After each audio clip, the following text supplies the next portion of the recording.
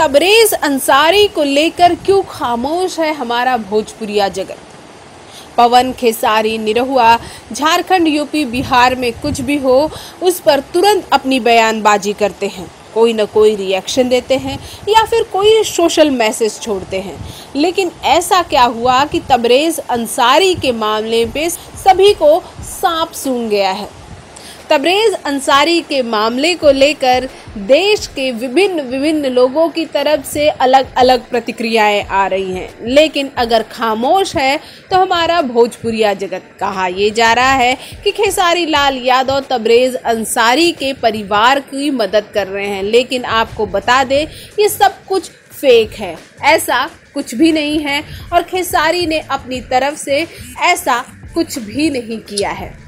तबरेज अंसारी मामले में सलमान खान ने भी बड़ी प्रतिक्रिया दी थी और उनके परिवार को हर तरह की मदद करने की ख्वाहिश भी जताई थी। साथ ही संसद में प्रधानमंत्री मोदी ने भी अपने भाषण के दौरान तबरेज अंसारी पे हुए इस तरह के हमले को लेकर चिंता जताई थी।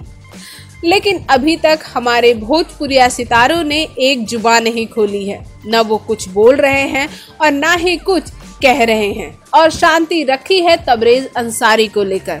यहाँ तक कि मीडिया में ये खबर भी आ रही है कि खेसारी लाल यादव और पवन सिंह ने तबरेज अंसारी के परिवार वालों को मदद पहुँचाने की भरपूर कोशिश भी की। लेकिन ये सब भी फेक है, दिखावा है, झूठ है। तबरेज अंसारी के साथ जो कुछ भी हुआ, मॉब लिंचिंग के तहत हुआ और ये निंदनीय है।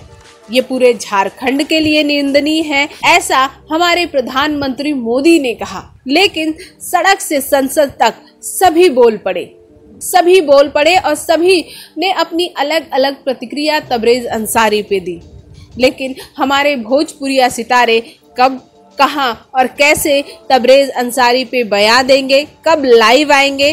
वैसे हर छोटी छोटी बातों पर हमारे ये भोजपुरिया स्टार्स लाइव आते हैं। अब देखना ये गौरतलब होगा कि कब हमारे भोजपुरिया सितारे तबरेज अंसारी के मामले पर कुछ कहते हैं। भोजपुरी जगत की हॉट और मसालेदार गॉसिप के लिए हमें सब्सक्राइब करना बिल्कुल न भूलें।